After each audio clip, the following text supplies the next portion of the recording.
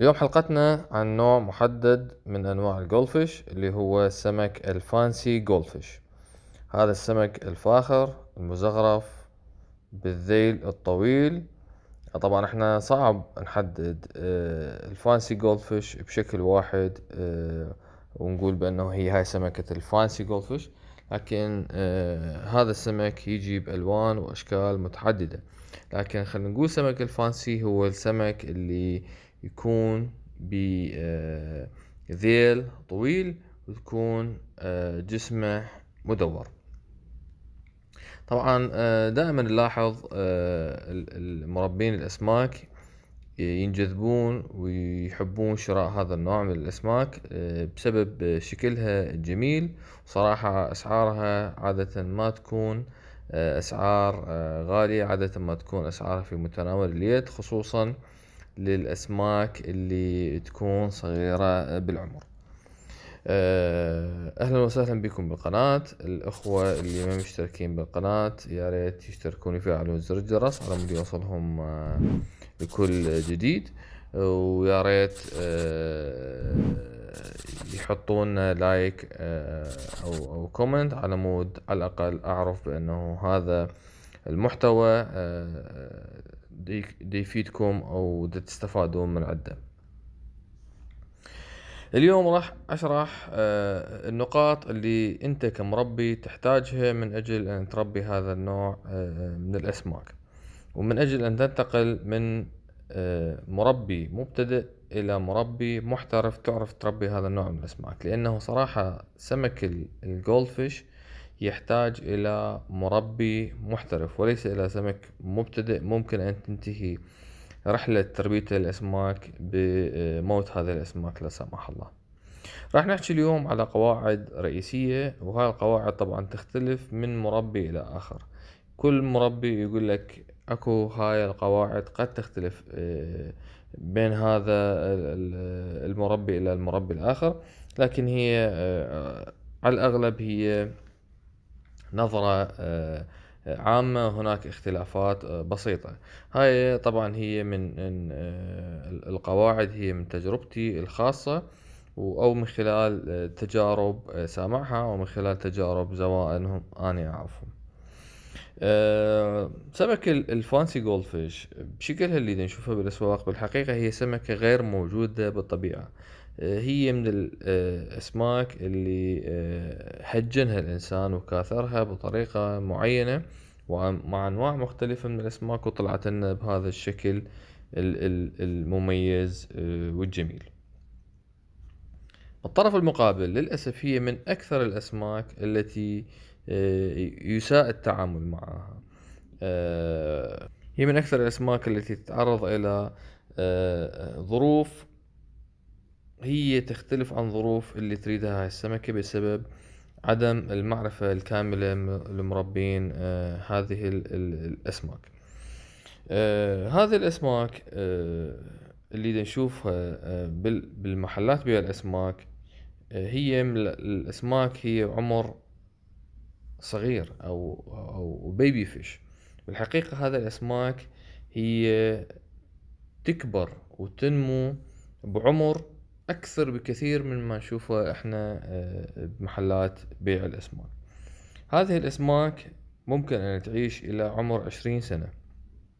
وهذه السمكة ممكن أن توصل إلى طول يوصل إلى عشرين سنتيم. طبعا هاي إحنا دا نحكي على ظروف مميزة واستثنائية في في في في في في الأحواض. لكن العمر اللي ممكن أن تعيشه بالأحواض أو معدل العمر قد يصل بين الثمانية بين الستة إلى ثمان سنوات. فأرجع وأقول بأنه الأسماك اللي نشوفها بمحلات بيع الأسماك هي صراحة أسماك صغيرة أو أفراخ. من مميزات هذه السمكة حتى أفراخها يكبرون بسرعة. فأنت تشوف بأنه عمر هاي السمكة بالمحلات هي عبارة عن شهور. لذلك أنت يجب أن تخلي ببالك مقارنة بقياس حجم هاي السمكة يجب أن تخلي ببالك بأنه أنت يجب أن تربيها بحوض كبير مو حوض صغير ولا الحوض الدائري أو يسمى الدورق. هذه الأحواض غير مناسبة آه، لتربية سمك الجولدفيش نرجع إلى خلينا سميناها القواعد. يعني آه، سمكة الجولدفيش تحتاج إلى قياس حوض كبير. قياس الحوض لكل سمكة هو ثلاثين لتر. إحنا بدنا نحكي بسمكة مو أفراخ لا سمكة آه متوسطة العمر. ولكل سمكة إضافية. ممكن تحطها بالحوض تحتاج إلى خمسطعش لتر إضافي. يعني لو أنت كان عندك آه مثلا خلينا نقول أربع سمكات. فأنت عندك ثلاثين زائد خمسطعش في ثلاثة. خمسطعش في ثلاثة خمسة وأربعين زائد ثلاثين تطلع خمسة وسبعين حوض. إيه، عفوا خمسة وسبعين لتر.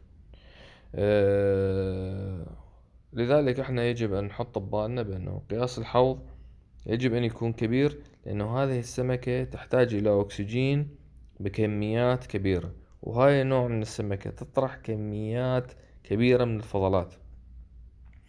هذه السمكة هي سمكة مو رشيقة بالسباحة حركتها بطيئة لذلك تحتاج إلى حوض نوعا ما آه، بطول آه، ويحتاج إلى حوض بمساحة آه، أكبر بالأعلى يعني شلون مو حوض بارتفاع يعني بعرض أحسن من الارتفاع لأنه كلما زاد سطح الماء زادت آه، كمية التبادل في الأكسجين على السطح.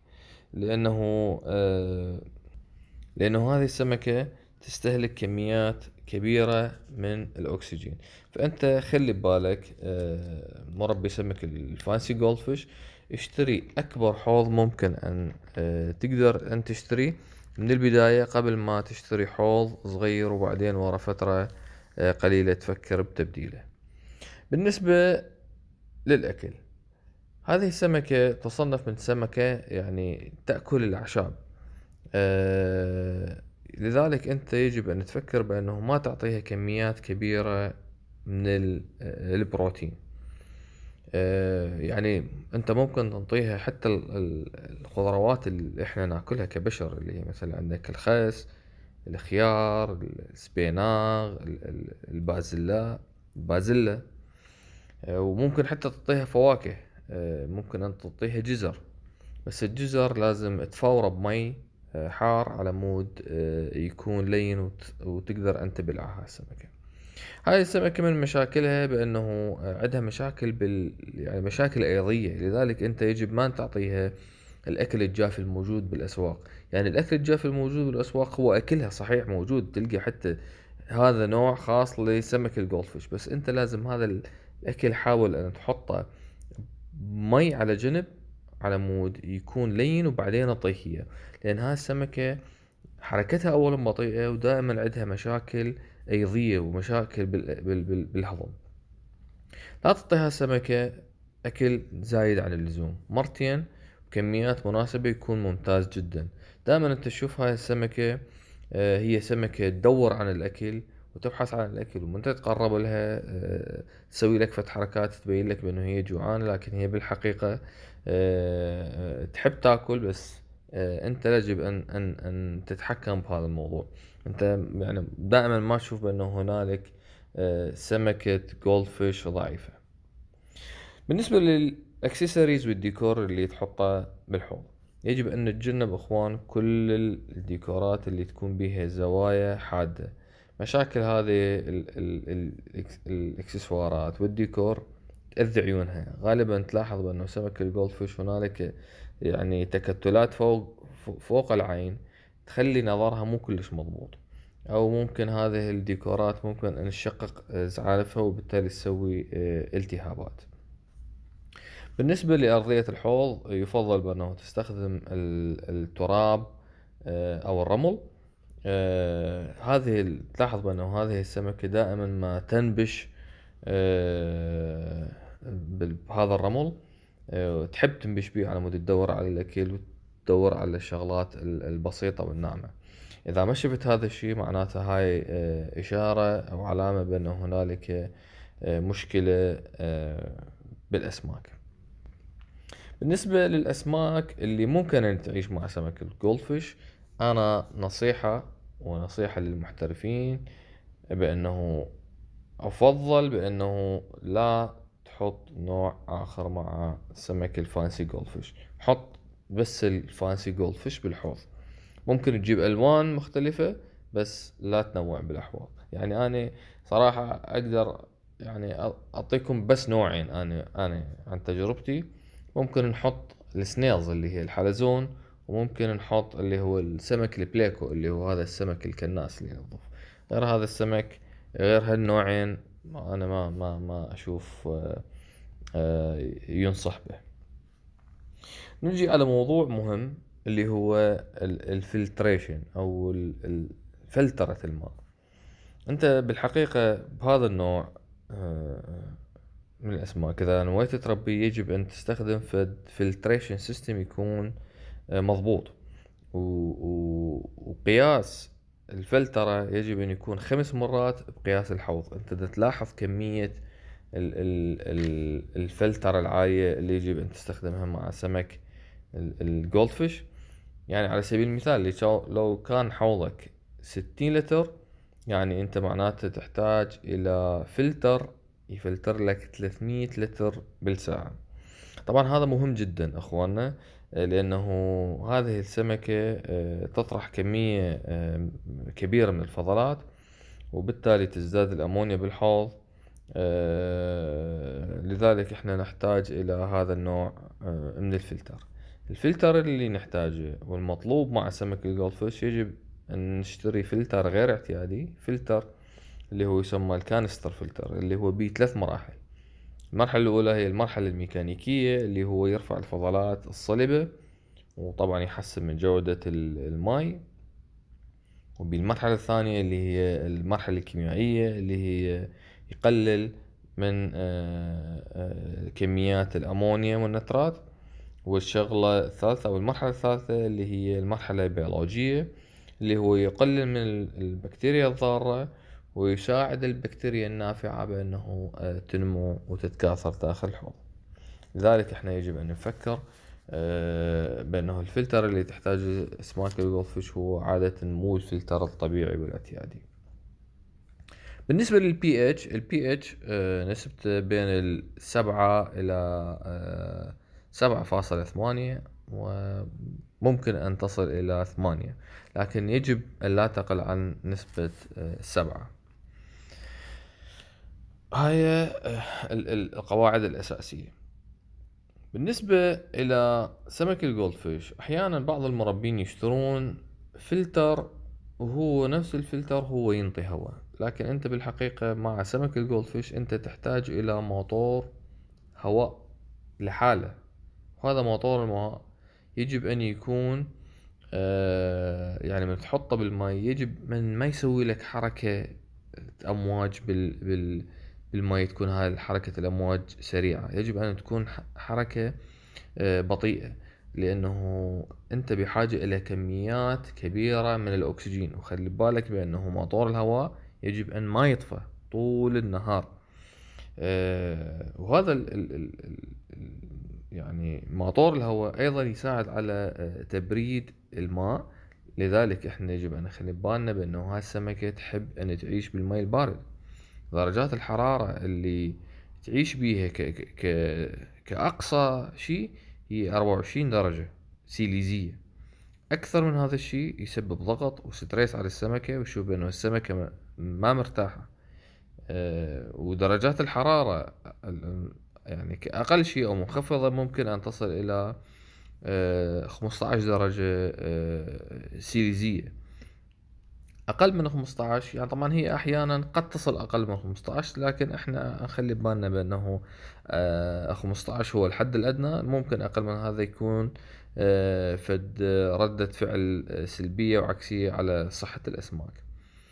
آه، بالنسبة للدرجة العالية هي أكثر من 24 قلنا بأنه هو مو زين. أنت لازم إذا ارتفعت فوق ال 24 يجب أن تخلي ببالك في الطريقة شلون تبرد الماي كأن تحط الحوض في مكان بمكيف في فصل الشتاء خاصة. آه، بالنسبة إلى موضوع تبديل الماء الدوري أو صيانة حوض الجولفيش طبعا هنا خصصت أنا صيانة دورة آه، الصيانة الدورية اللي مياه الحوض الخاصة بالجولفيش تختلف عن بقية الأسماك. يعني إحنا دائما نقول بالفيديوهات السابقة بأنه إحنا نبدل أسبوعيا ربع آه، أو ثلث كمية الحوض. هنا أنا صراحة أشوف بأنه أنت حسب الحاجة. أنت راقب الحوض راقب كمية الأسماك اللي موجودة بحوضك راقب كمية الفضلات المطروحة. قد ما تحتاج إلى صيانة أسبوعية خصوصا مع وجود فلتر بالحجم اللي قلنا قبل شوية أو قد تحتاج أحيانا إلى تبديل ماء آه، مرتين بالأسبوع أو يمكن خمسين بالمية مو مو مثلا خمسة وعشرين بالمية مثل ما ذكرنا آه، قبل قليل. أه سمكة الجولفيش أحيانا إذا حطيناها بمكان مو هادئ أو بحركة مياه سريعة تشوف السمكة تعزل نفسها. سواء في كورنر زاوية بالحوض أو أه تشوفها بأنه غير متفاعلة. فهاي معناته بأنه هي متضايقة من الحركة آه، آه، داخل آه، حركة المي داخل الحوض. لذلك هاي نقطة مهمة جدا يجب أن أن نعرفها. هواية من الناس دائما ما يقول لك بأنه سمك الجولفيش يأكل النباتات الحية طبعا هذا الكلام صحيح بس إحنا عندنا اوبشنات نقدر نحط كم نوع من النباتات آه، كما ما تشوفوها بالصورة اللي هي مثلا ال hornwort أو ال java fern هاي خصوصا ال hornwort هي يعني آه، من النباتات اللي تكون آه، سريعة النمو. وسمك ال fancy جولفيش ما يحبها كثير ولا ياكلها. فهاي ممكن عندك فد اوبشنين ممكن ان تستخدمه بحوض الاسماك بس خلي ببالك يجب أن أن الجذر تثبت بحجر لأنه قلنا الأسماك هي دائما تنبش بالرمال وت وممكن أن تروح على الجذور وتنبشها وممكن أن يأثر على نمو هذه النباتات. إحنا شلون نقلل بأنه سمك الجولدفيش آه، يتحارش بالنباتات الطبيعية اللي موجودة داخل الحوض مثل ما ذكرنا بالبداية بأنه أنت بدي أنطيها الخضروات. آه، من الشغلات الحلوة أيضا بسمك الجولدفيش آه، هذا السمك خصوصا الأسماك اللي تكون كبيرة بالحجم وتعيش وياك لفترة طويلة. وانت دائما تداريها وتعطيها أكل تلاحظ بأنه هاي الاسماك تقوم تتفاعل وياك خصوصا من تتقرب لها من تبدي تعطيها أكل تحسها كأنه مو سمكة آه، كبقية الأسماك الاعتيادية تحسها لا نوعا ما سمكة آه، كأنه آه، الله يعزكم كأنه كلب أو أو أو أو قطة تتفاعل وياك وكل وحدة تلقى عندهم شخصية مختلفة. وحدة من عندهم تلقاها حركتها سريعة وتلعب وتتحرك وحدة من عندهم بطيئة وخاملة وحدة من عندهم تحب الرمل وهكذا. آه هاي هي صراحة هاي المعلومات الرئيسية لتربية الأسماك الفانسي جولد فيش بطريقة محترفة آه، بطريقة آه، نتجنب بها مشاكل آه، السمكة اللي هي صراحة مشاكل السمكة هي عن المعلومات الخاطئة عن تربية هذه النوع من السمكة. إذا إحنا اتبعنا الخطوات اللي ذكرناها صراحة حشوف معك السمكة تكبر وتنمو وما بها أي مشاكل. آه، بالعكس هي من الأسماك صراحة المقاومة. بس إحنا إذا اتبعنا الخطوات آه، الصحيحة.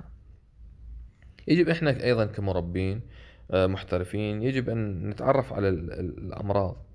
وشون نتصرف إذا صارت السمكة بها أمراض؟ مثلا عادة من العلامات البارزة الجولفيش ممكن أن تطفو أو بالعكس تجلس يعني على قعر الحوض. هذا عادة آه، علامة بارزة من علامات آه، آه، المرض. عادة ما تكون بكتيريا تسبب لها مشاكل تسبب لها تغيير باللون. فإحنا يجب أن نحضر العلاج المناسب ونعالجه. اخوان هذا آه، كل ما يخص آه، سمك الفانسي جولدفيش أتمنى أن يكون عجبكم الفيديو. استفاديتم من المعلومات. إذا عندكم أي معلومات إضافية اكتبوا لي بالتعليقات وأنا حجاوبكم عليها يعني نرجع ونقول هاي سمكة صراحة من الأسماك الجميلة الحلوة. ممكن أن تعيش معاك لفترة طويلة. خلي ببالك بأنه حوضك يكون كبير يعني هاي السمكة أكو حتى ضاربين بيها رقم قياسي بأرقام آه، يعني موسوعة جنس أكو سمكة واصلة إلى قياس 38 سنتيم في هونغ كونغ مسجلة يعني بهاي الموسوعة. فإحنا خلينا نخلي ببالنا بأنه تربية آه هذا النوع من الأسماك آه بمتطلبات أكثر من بقية الأنواع من الأسماك أو قد تكون مختلفة عن بقية الأنواع من الأسماك لكن بنفس الوقت هاي السمكة سمكة حلوة وجميلة ومميزة. أشكر متابعتكم الفيديو والسلام عليكم ورحمة الله وبركاته.